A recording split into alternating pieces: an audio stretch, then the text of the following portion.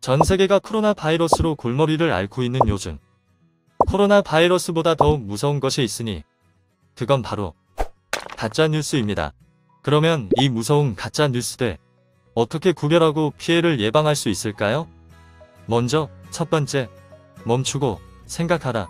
대부분의 가짜 뉴스들은 우리가 조금만 더 신중히 생각하고 고민해보면 충분히 가려낼 수 있는 것들입니다. 두 번째, 뉴스 및 기사의 출처를 확인하라. 꼼꼼하게 내가 읽고 있는 정보의 출처를 확인해 보세요.